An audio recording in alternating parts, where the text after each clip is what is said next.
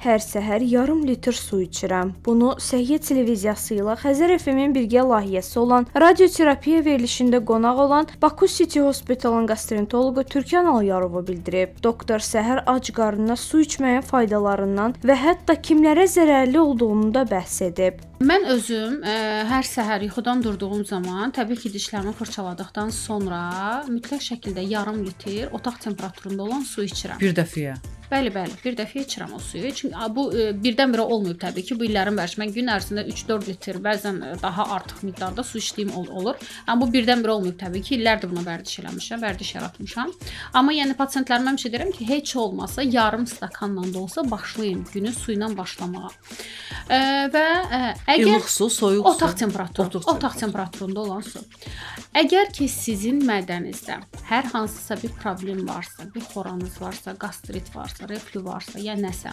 Təbii ki, o dediyiniz limonlu su e, sizə yaxşı təsir göstərməyəcək. Hə, bəzən tənbəllik eləmədiyim dövrlərdə mən də limonlu su içirəm, faydası var.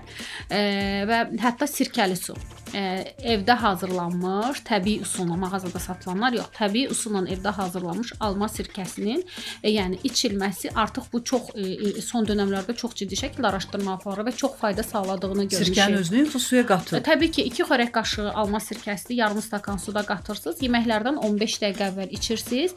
Bu ə, mədənizi qidanın həzminə hazırlayır və daha çox özünüzü daha rahat, daha ə, yəni ə, o dispeptik sindrom ə, əlamətlərin ortadan qalxdığının şahidi olacaqsınız. Əgər alma sirkəsi istifadə edirsinizsə.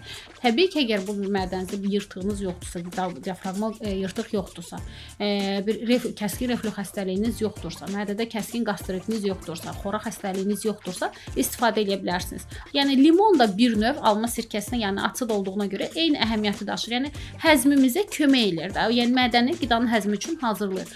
Yox, əgər ki bu saydığım problemlər varsa, əks təsir göstərəcək. Və bir də e, mineral sular sular, qazlı sular e, də istifadə edirlər. Bəzən görürsüz qarışdırırlar.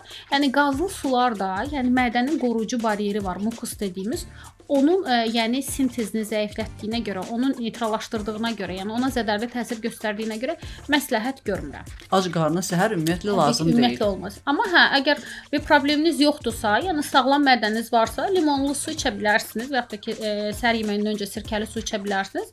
Ə, yox, bir probleminiz varsa da, yəni adi su sizə heç bir ə, yəni mənfi təsir yoxdur. Çox rahatlıqla istifadə edə bilərsiniz ac qarnına. Baku City Hospitalın gastroenteroloqu Türkan Alyarova son illərdə yeni nəslin kərəviz suyuna olan marağından da münasibət bildirib kərəviz suyunun anti-iltihab əleyhinə bir effekti var, təsiri var.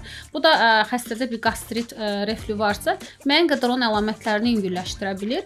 Hə, bir də bildiyim qədərilə detoks eləmək bir xüsusiyyəti var bunun, ə, kərəviz suyunun və ə, toksinlərin bədəndən atılmasına yardımçı olur. Ə, bir də e, sidik qovucu effekti var deyə, o toksinlər zaten o şəkildə qovur bədəndən.